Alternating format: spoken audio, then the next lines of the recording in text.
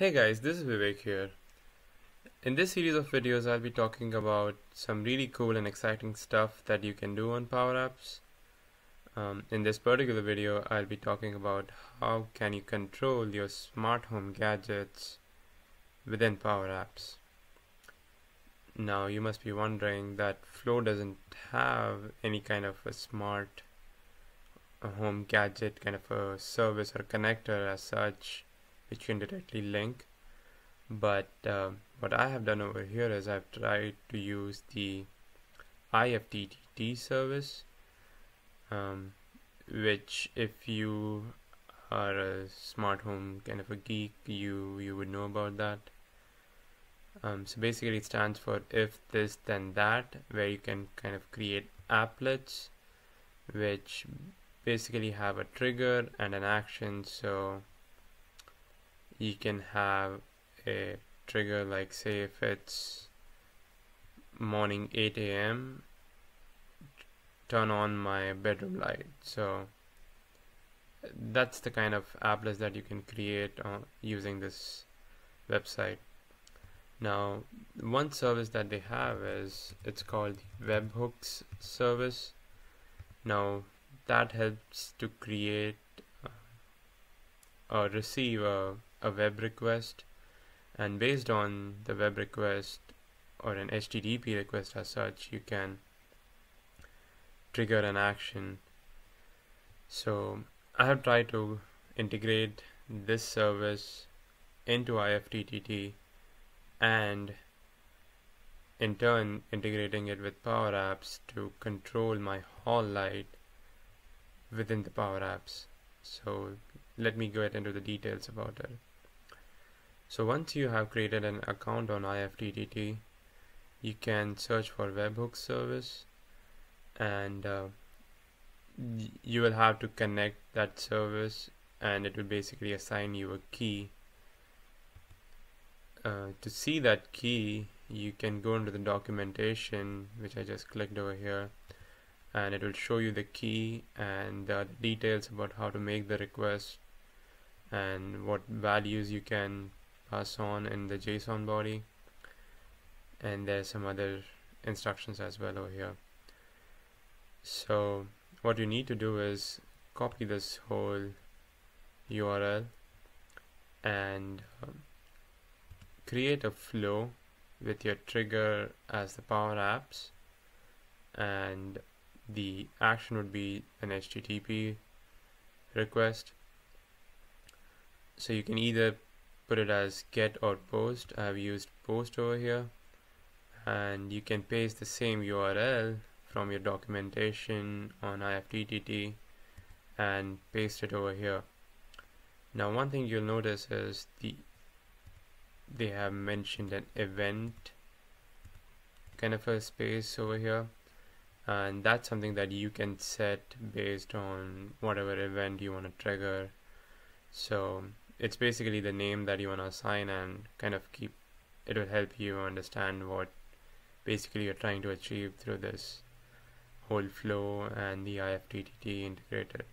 So I am controlling my hall light over here and that's why I've named it as hall light slash underscore pressed. So so basically if it's turned on I want it turn if I turn on the button over here I want to turn on the light and if I turned off over here I want it to turn off the light. So so in the flow you already entered the URL the body you can define any values that you want to pass to. So we'll we'll come back to this once I show you what I've done on the Power Apps screen. But uh, this is about the flow that you need to create. Now let's go to the power apps section over here. So I've just created an, a simple screen over here with a toggle control which basically just runs the flow that we have created over here. Now as you can see I'm passing a value which is nothing but on or off. So we can see it over here and so on check it runs this flow which sends the value on.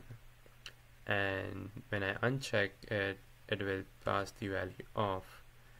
Now let me try to show it over here. So if it doesn't make sense over there okay. So yeah. Let's just see it over here once so that it's easier to understand. So you can see this is the flow and this is the text that I'm passing. So if I am turning on this toggle it passes on as the value over here. And you'll see in a moment why and how it's turning on turning off the light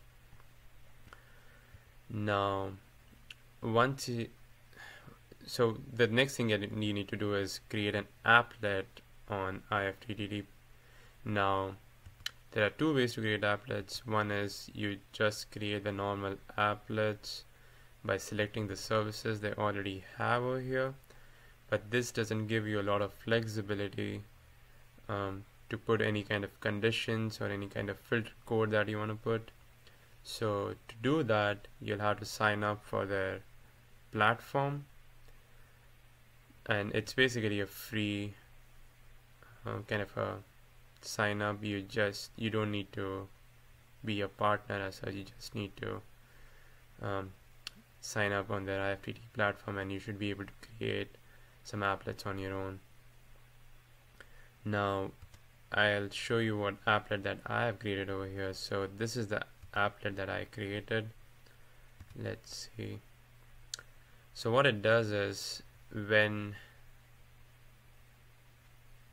when you create a webhook uh, so the webhook will be a trigger and you can define a default value. So we can go ahead and define the default value as light underscore pressed and the next thing that you want to do is before this filter code gets activated you'll have to add some actions. Now in this case I've added I have a Wemo smart plug and that's why I've added a, a smart plug as a service. And I put a turn off um, the switch will be something that you select once you create this applet and turn it on in your account. So you can select it during that time. And uh, so I've added two actions over here. One action is turning off and one action is turning on. Now what you want to do is you want to create a, a filter saying if the value that was passed on this HTTP request if if it's on I want to turn on the light or basically you want to skip the turn off action. And similarly if the value is off I want to skip the turn on action.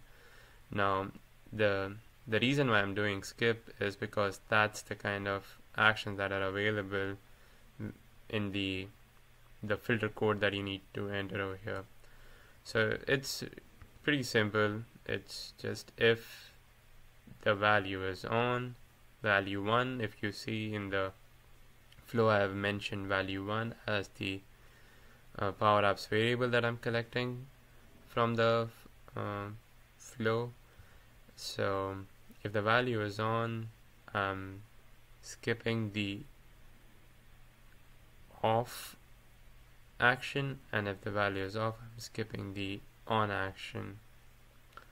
Mm, so once you have created that applet you just mm, have to enter a title and a applet description and just save it. And once you have saved it you can uh, open it in IFTTT over here let me so open it here. So as you can see I've turned it on for now and uh, I'll go into the settings and show you how to select the switch.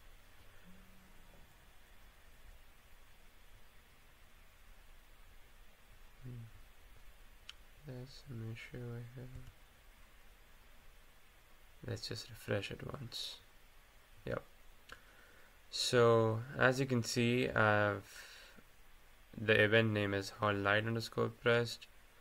Um, for the turn off I've selected the hall light as my switch. If you have any other switch it will pop up over here. And um, similarly for the turn on I've selected the hall light as well. Now I have connected my Wemo switches over here but you can connect any others any other smart device that you have and accordingly make the changes in the uh, the platform uh, in the applet over here.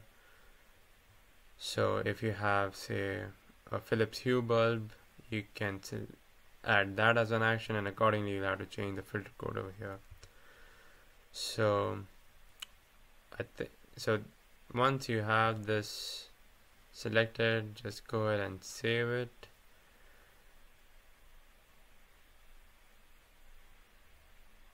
Okay. Hmm. that's weird. Just try doing that once again. Yep.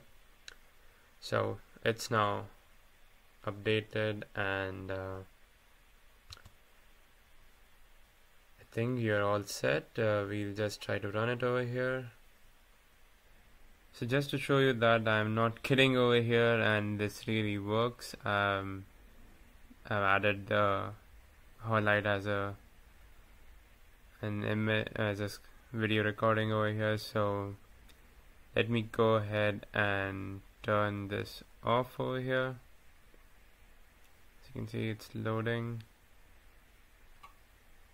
There you go. The hall light was turned off and let's go back and turn it on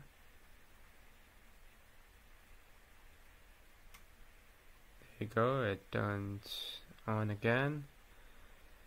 Let's do it just one more time so that you believe me. So yeah there you go. It's turned off once more.